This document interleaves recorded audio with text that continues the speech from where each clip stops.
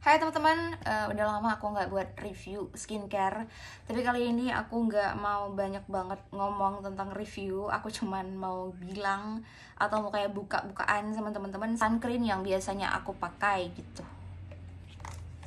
Nah ini aku udah uh, tadi juga cuman pakai sunscreen jadi aku nggak pakai bedak atau gimana lagi. Cuman kadang-kadang kalau aku lagi males uh, kelihatan berminyak gitu, aku pakai sedikit bedak tabur. Cuman ini tadi males jadi aku cuman pakai sunscreen doang. Nah teman-teman uh, selama aku coba beberapa sunscreen ada beberapa sunscreen yang mungkin aku nggak cocok tapi ada dua sunscreen yang menurut aku aku suka banget dan cinta banget yang pertama aku udah bilang ke teman-teman uh, aku udah review ini dari sejak uh, awal aku pakai pakai sunscreen. Ini adalah Azarin yang vitamin yang Hydra Maxi aku udah nggak tahu lagi ini udah habis berapa tuh aku pakai. Kemudian akhir-akhir ini aku coba si Vestologi Vestologi yang pertama aku coba itu yang botol bulat kecil itu.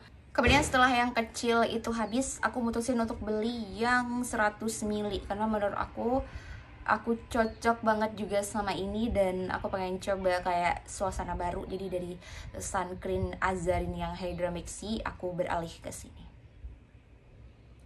Oh ya bukan berarti aku udah nggak suka sama si sunscreen Azarin Aku masih suka cuman kayak mau coba hal baru dan sama-sama cocok Jadi aku suka kedua sunscreen ini gitu